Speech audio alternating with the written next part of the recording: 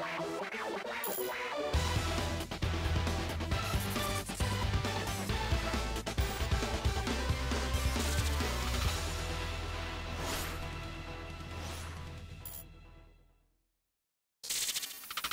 everyone, how are you doing? This is MD Tech here with another quick tutorial.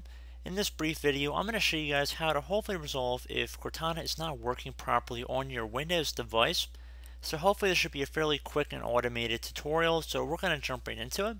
So the first thing you want to do is take note of whatever drive letter Windows is installed on. So most people it's going to be either the C or the D drive, majority of which are going to probably fall in the C drive of those two. But just to make sure, you want to open up the start menu and type in this PC.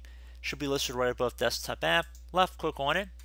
Whichever drive has a little logo of the Windows icon right above it, you want to take note of whatever's in parentheses right here. So in my case, again, like I said, more than likely it's going to be the C drive, but you never know. It could be anything from A to Z in your case.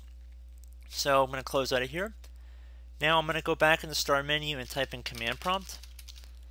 Best match should say command prompt right above desktop app. I'm going to right click on it and then left click on run as administrator. If you receive a user account control window, select yes.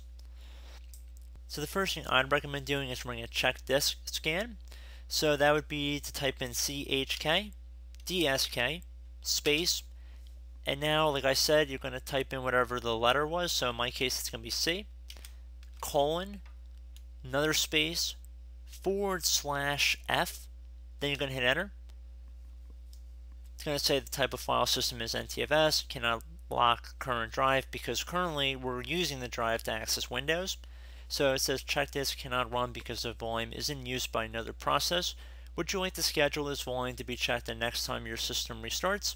Type the Y key on your keyboard, then hit enter. Since this volume will be checked the next time the system restarts. So I recommend that you restart the computer, follow along with any prompts it comes up with along the way, and see if that resolves your issue. Okay, so if that doesn't work for you, we're going to be moving on to step number two, or method number two here. And that would be to open back up the start menu after your computer restarts and everything after you ran that scan. We're going to open up the command prompt again, right click on it, run as administrator, yes.